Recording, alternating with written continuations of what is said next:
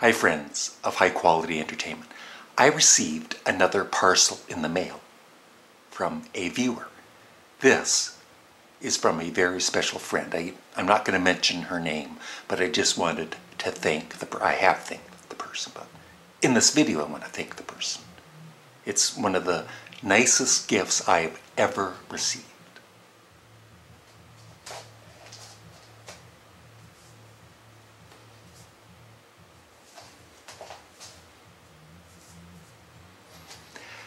Freaking yes t-shirt for one of my all-time favorite albums, Tales from Topographic Oceans. Whatever topographic means, I don't know. Thank you. Hi again. Now, this artist I hope you check out and come back and leave a comment for is Jane Siberry.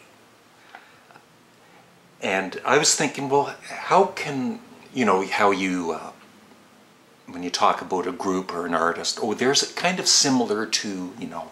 So I'm kind of, I was thinking this morning, who is she similar to that's really well known or fairly well known?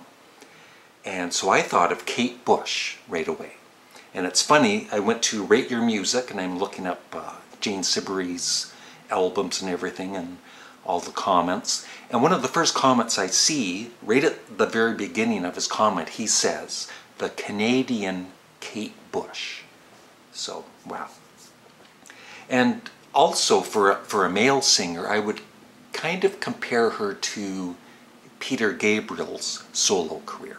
So if you like those two artists, there's a chance you will like or maybe even love Jane Siberry if you haven't heard her.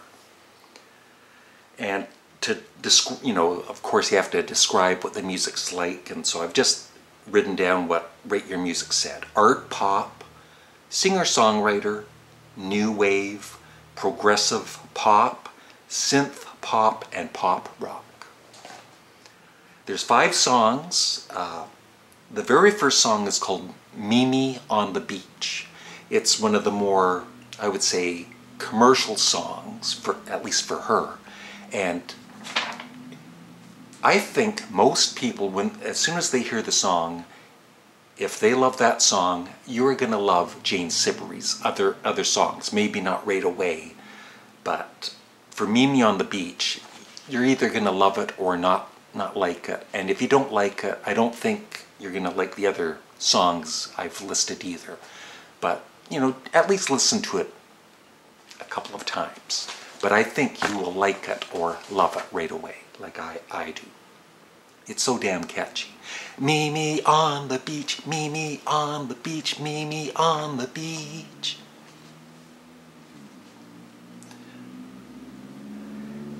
And uh, so these are all on YouTube, and the links will be below. One More Color is another very catchy song, which I think you will love. Map of the World Part 2, once again, very catchy. I actually only had four songs and I was going through, because I haven't heard some of these songs in quite a while. I want to get her CDs. They're, the earlier CDs are kind of hard to get or they're pretty expensive. And one of them is Vladimir Vladimir.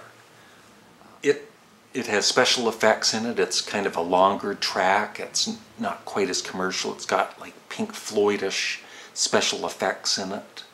I love it. I hope you do. And the final track is, I think, one of my favorite songs of all time. I mean, I've got quite a few of those, of course, but it's pretty, pretty high up there. But it's, uh, it's going to take more than one listen for you to enjoy, as it did for me. I didn't get it right away. I thought it was really, really weird. It's called The Bird in the Gravel, and the production is superb. It's stellar production, whatever stellar means. And so that's it. Check out Jane Siberry, she's still recording today. She still sound, sounds great. I've checked out some of her newer material on Spotify. Uh, but I hope you give Jane Siberry a chance and then come back and leave a comment below and for all of these videos, as long as I get one person to become a fan of the artist I'm talking about, I'll be happy. So I hope you become a fan of Jane Siberry. Thanks for watching. Have a great day. Bye.